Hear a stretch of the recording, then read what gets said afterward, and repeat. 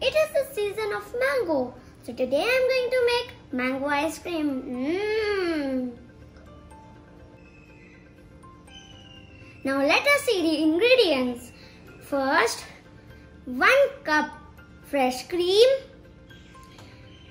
half a cup condensed milk, 1 cup powdered sugar, 2 cups mango puree. I have chilled the bowl in the freezer for 15 minutes. Now I'm going to pour the fresh cream in the bowl.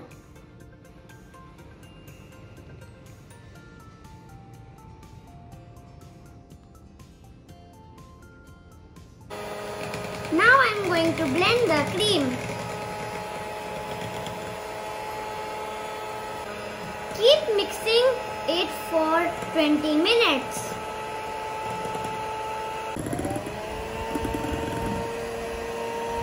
My cream is ready.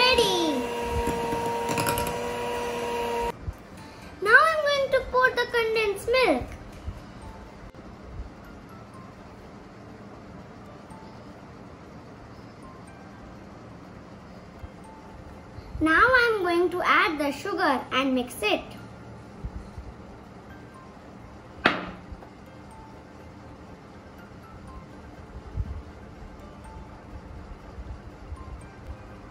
Now I'm going to add the mango puree.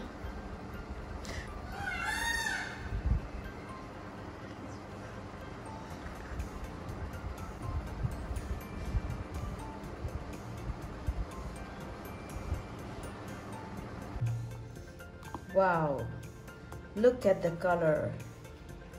We don't need to add any artificial colors also. I'll be cutting the mangoes into a very small pieces like this and I'll be adding this mango into my ice cream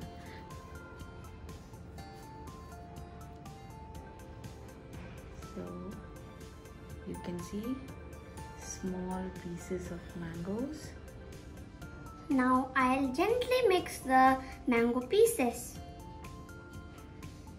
Now I'm going to pour this into an airtight container.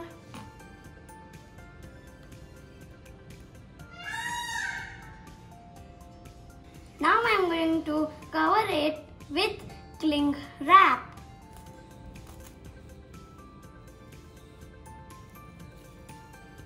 Put the lid on.